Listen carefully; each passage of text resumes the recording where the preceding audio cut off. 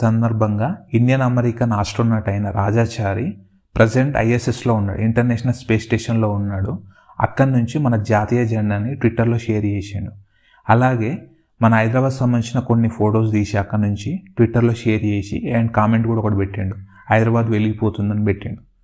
ఎందుకంటే వీళ్ళ యొక్క నాన్న యొక్క నేటివ్ ప్లేస్ వచ్చేసి హైదరాబాద్.